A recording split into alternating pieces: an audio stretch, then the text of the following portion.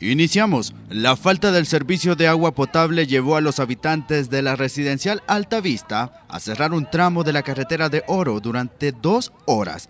Aseguran que no cuentan con el servicio desde hace dos meses y deben gestionar de forma constante a la Administración Nacional de Acueductos y Alcantarillados ANDA para que pongan a disposición el servicio de pipas.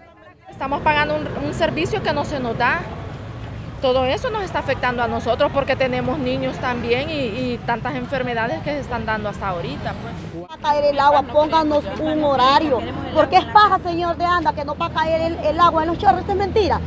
Pónganos un horario y qué día va a venir la pipa. Ahí se le avisa a los pasajes tal día va a venir la pipa, saquemos barriles.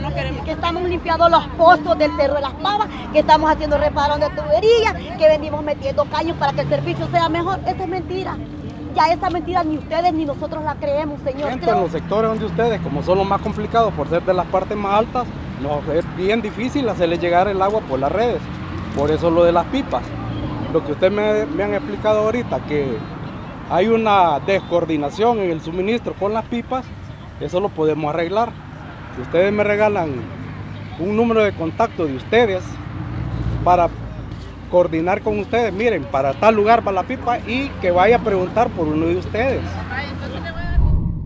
Ellos son estudiantes de educación parvularia de la Escuela José María San Martín de Santa Tecla. Se preparan para participar en el desfile del 198 aniversario de Independencia Patria pero no todos podrán hacerlo, debido a que la institución no cuenta con los suficientes instrumentos. Los docentes y padres de familia piden a personas altruistas donarles recursos para comprar más herramientas musicales y que los 90 niños y niñas que asisten a la escuela puedan desfilar este 15 de septiembre.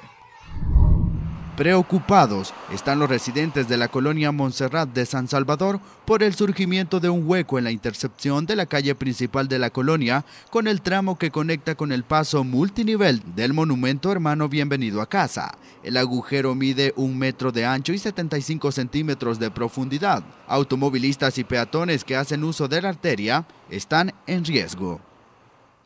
Recuerde que puede hacer llegar sus denuncias marcando el 2560-1240 en nuestra sala de redacción.